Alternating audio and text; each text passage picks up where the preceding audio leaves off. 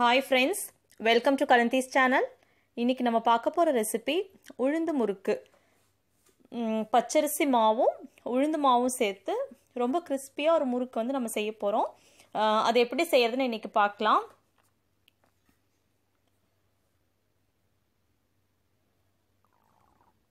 ஒரு கப் உளுந்து எடுத்திருக்கேன். மொட்டு உளுந்து வந்து நீங்கள் உடைக்காத உளுந்தாகவும் எடுத்துக்கலாம். இட்லி காட்டுற உளுந்தும். இல்லைன்னா இந்த மாதிரி தாளிக்கிறக்காக தாளிக்கிறதுக்காக வச்சுருக்கிற உளுந்து எடுத்துக்கலாம். மிக்சியில் அரைக்கிறப்ப வந்து இந்த உடச்ச உளுந்து கொஞ்சம் சௌரியமாக இருக்கும். அதனால் நான் இங்கே வந்து உளுந்து வந்து அரை உளுந்து எடுத்திருக்கேன்.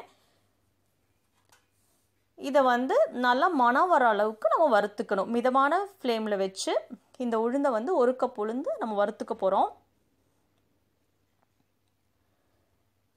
கொஞ்சம் கலர் வந்து லைட்டாக அந்த ஒயிட் கலர் மாறி வரும். நல்ல வாசனையும் வரும். அது வரைக்கும் வறுத்துட்டு எடுத்து ஆற வச்சு நல்ல பவுடர் அதாவது முறுக்கு பார்த்தீங்கன்னா அரிசி மாவாகட்டும் உளுந்து மாவாகட்டும் பருப்பருன்னு இருக்கக்கூடாது. நல்லா ஃபைன் பவுடராக இருந்தால் தான் முறுக்கு வந்து ஒன்று சேர்ந்து வரும். அதனால் நல்லா அரைச்சி சளிச்சிருங்க. ஆற வச்சுட்டு அரைச்சி சளிச்சிட்டு நல்லா ஃபைன் பவுடராக யூஸ் பண்ணிக்கலாம். பாருங்கள் நான் ஒரு கப் உளுத்தம் பருப்பு நல்லா வறுத்து பவுட்ரு பண்ணிட்டேன். அதுக்கப்புறமா அரிசி மாவு பச்சரிசி மாவு. பச்சரிசி மாவு வந்து முறுக்குக்கு நல்ல பவுடராக இருக்கணும். எப்படி அரிசி மாவு அரைக்கணும் அப்படிங்கிறத வந்து நான் இதுக்கு முன்னாடி உங்களுக்கு ஒரு வீடியோ போட்டிருக்கேன். அதனோட லிங்க்கும் வந்து நான் அந்த டிஸ்கிரிப்ஷன் பாக்ஸில் உங்களுக்கு ஆட் பண்ணுறேன் அதுக்கப்புறமா பொட்டுக்கடலை. அஞ்சு கப் அரிசிக்கு ஒரு கப் உளுத்தம்பருப்பு கால் கப் பொட்டுக்கடலை. பொட்டுக்கடலை நிறையா வேண்டாம். கால் கப் போதும். அதையும் வந்து அரைச்சி சளிச்சு நல்ல ஃபைன் பவுடராக இதோட நம்ம சேர்க்க போகிறோம் நிறைய பொட்டுக்கடலை போட்டால் எண்ணெய் குடிச்சிடும் முறுக்கு. நல்ல கிறிஸ்பியாக முருவலாக பொறு பொருன்னு இருக்கிறக்காக தான் அந்த பொட்டுக்கடலை சேர்க்க போகிறோம் அது கால் கப் கடலை போதுமானது. நல்லா சளிச்சிட்டேன் பாருங்கள் நல்லா பவுடராக இருக்குது கடலை மாவு. இப்போ கலந்துடலாம் அஞ்சு கப் அரிசி மாவு போட போகிறேன் ரெண்டு மூணு நாலு அஞ்சு. அஞ்சு கப் அரிசி மாவு. பச்சரிசி மாவு அஞ்சு கப் ஒரு கப் உளுத்தம்பருப்பு மாவு வந்து வறுத்து அரைச்சது. கால் கப் பொட்டுக்கடலை மாவு. இவ்வளோ தான் முறுக்குக்கு போட வேண்டிய மாவு. அடுத்தது எள் வந்து கருப்பெல் இருந்ததுன்னா ஒரு ரெண்டு டேபிள் ஸ்பூன் எள்ளு போட்டுக்கோங்க. எள்ளு நல்லா வாசனையாக இருக்கும். உப்பு தேவையான அளவு. பெருங்காயத்தூள் ஒரு டீஸ்பூன் அளவுக்கு பெருங்காயத்தூள்.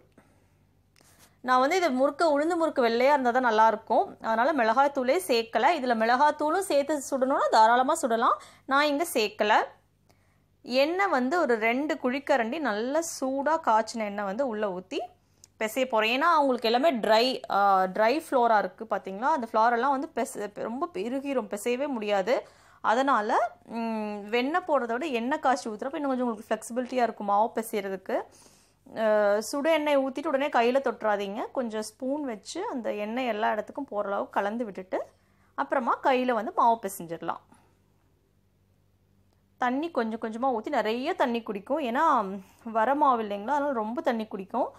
ஆனாலும் கொஞ்சம் கொஞ்சமாக தண்ணி ஊற்றி பிசைங்க. மாவு பிசைகிறது கொஞ்சம் வந்து கஷ்டமாக இருக்கும். தண்ணி கொஞ்சம் கொஞ்சமாக ஊற்றி மாவை பிசைஞ்சிருங்க. புதுசாக ட்ரை பண்ணுறவங்க கொஞ்சமாக செஞ்சு பாருங்கள் நிறைய மாவு போட்டு பிசைய முடியாது. பழக்கம் இருக்கவங்க செஞ்சிடலாம்.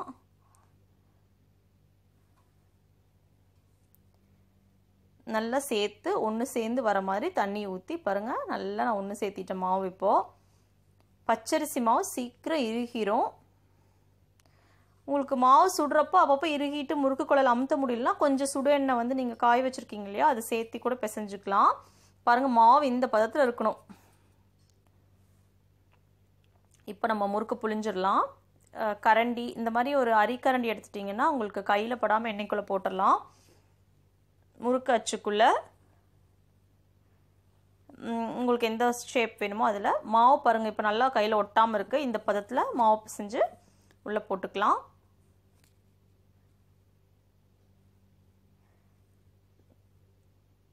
ஃபஸ்ட்டே புளிஞ்சு வச்சுட்டு அப்புறமா எண்ணெய்க்குள்ளே போட்டுக்கலாம். உங்களுக்கு சௌரியமாக இருக்கும். இந்த மாதிரி தட்டில் புழிஞ்சு உள்ளே போடுறப்போ கை வந்து நம்ம கேர்ஃபுல்லாக போடணும். அது பழக்கம் இல்லாதவங்க இந்த மாதிரி கரண்டியில் போட்டிங்கன்னா கையில் படாமல் எண்ணெய்க்குள்ளே படாமல் உள்ளே போட்டுடலாம்.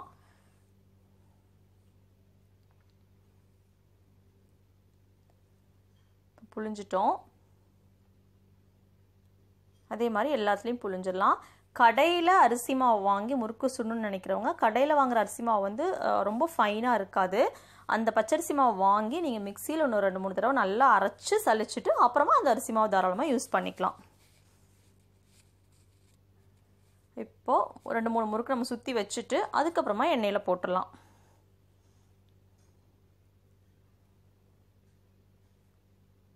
எண்ணெய் நல்லா காயட்டும்.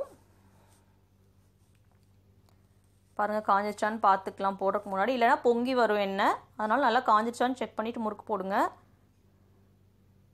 பாருங்கள் உள்ளே போட்டாச்சு.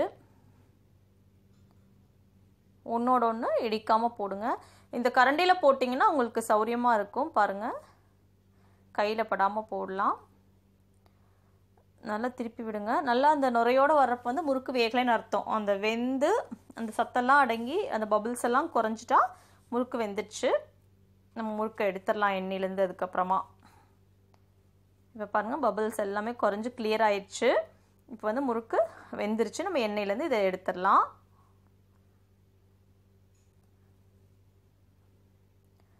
இப்போ அருமையாக ஒரு உளுந்து முறுக்கு நம்ம செஞ்சிட்டோம். இதே மாதிரி எல்லா மாவும் நீங்கள் முறுக்கு பிழிஞ்சு எண்ணெயில் போட்டு தாராளமாக எடுத்துக்கலாம். அஞ்சு கப் அரிசி மாவுக்கு ஒரு கப் உளுந்து மாவு கால் கப் பொட்டுக்கடலை மாவு. எல்லாமே நல்லா அரைச்சி சலித்து நல்ல பவுடராக கலக்குங்க. கூட வெண்ணெய் அல்லது எண்ணெய் சேர்த்தி பிசைஞ்சிருங்க.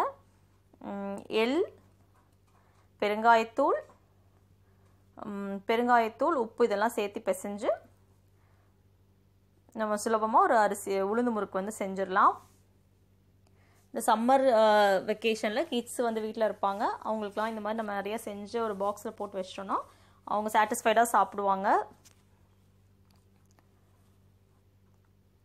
உளுந்து நல்லதும் கூட. அதனால் இந்த எம்மியான ஒரு உளுந்து முறுக்கு நீங்களும் ட்ரை பண்ணி பாருங்கள் ஈஸியாக uh, வரும் உங்களுக்கும்.